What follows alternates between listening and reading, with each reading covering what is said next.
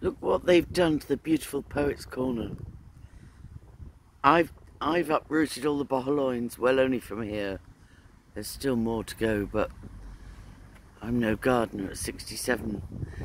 But look what they've done. It's totally overgrown and the bench has been removed. And this is what even St Patrick, who many people think is a hero in our Irish law, no, no, even St Patrick, they decimated the local uh, law. And, and I don't agree with Druidism, right? The Druids exacted child sacrifice and taxes, and they were terribly cruel and pagan and dreadful. But, but the Roman Catholic Church and the likes of St. Patrick, they came to Ireland and they raped it. And one of the things they did to make sure that the local language would die, the local law would die, the local traditions would die, was they killed the bards and the prophets.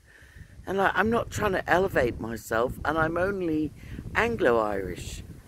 But at the same time, this priest, Father Mark, I don't remember his last name, I went to him originally to welcome him to the parish, offer to uh, help him clean up the parish, which is full of paedophile rings and satanic ritual abuse and corruption and covers up cover-ups and so on. But, but I went in gently just to offer to say, you know, I've been here on and off since 1981. I'm a survivor. I'm a journalist. Can I help you?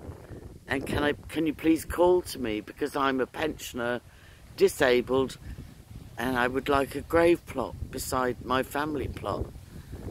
He never called to me.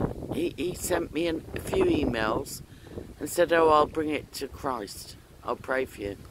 and I never heard a word since, except he removed the bench from the Poet's Corner.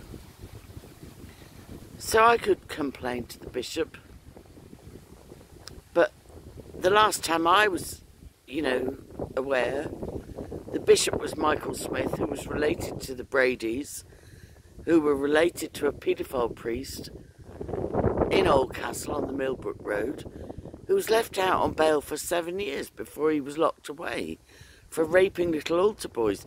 In that seven years, my firstborn son age 17, wanted to get his driving license. So I said, get a job. Do you know what I mean? Your dad's not, your dad's not here. I'm, I'm, I'm doing my best. If you want to drive, get a job. So he walked within a five kilometre radius of Oldcastle cleaning windows. And he said to me, Mum, there's this fella out the Millbrook Road and he gives me a hundred euros as long as I go inside the house and clean the inside of the windows as well. Well, guess who it was? The fucking Brady paedophile priest out on bail for seven years. And thank God, just thank God my son just, I, you know, I've been able to educate my children a little bit and say, you know, if something seems too good to be true, it probably is. So yeah, I could, I think Michael Smith, Bishop Michael Smith, probably gone, related to paedophile priest. Brady out the Millbrook Road, who eventually got time, but probably is free now and maybe in the grave. But this is the Poet's Corner. And I am going to report you, Father Mark. I am going to report you. And Peter Caffrey, like, back in the day, we, we thought, uh, I was a soccer mum, right? And we thought you were going to develop this field as a soccer field, soccer pitch for the town even though it's very, you know, not PC for Sinn Féin, but but Father Ray put his foot down and said, no, I want a prayer garden. And so here's the prayer garden, desecrated by this new priest. So hear me, Father Mark. You can send me all the emails you like saying you're going to take it to Christ and yet you won't call to a disabled pensioner who wants to buy a plot. And you've kind of, you've kind of made me feel like I, I think I'll just get cremated. I think I'll just get cremated. Shame on you.